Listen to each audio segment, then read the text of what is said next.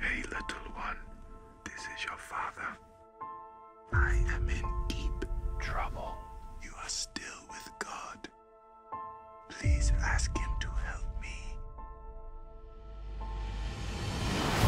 In 25 years, I've never requested a panel of tests like this. What are you looking for? There is not a single case where a man that healthy went that mad, that young. I think I found a disease that no one has ever seen before. The NFL has known about the concussion issue for years. You turned on the lights and gave their biggest boogeyman a name. Men are dying. Families are being destroyed right now.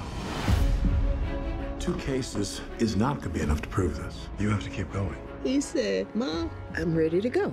You definitely think he had this disease. Yes, Do you understand the impact of what you are doing? You're at war with one of the biggest corporations in the world.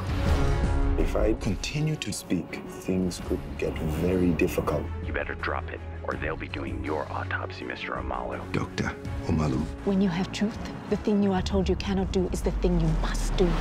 They want to pretend that disease does not exist, and they want to bury me. What you think they're doing to you, that's nothing.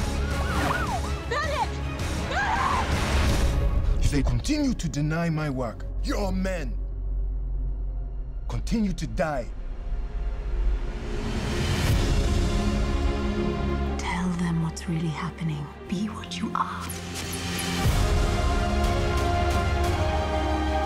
Where I come from, we take care of our warriors.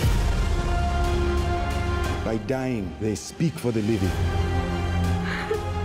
and I speak for them. Tell the truth. Tell the truth.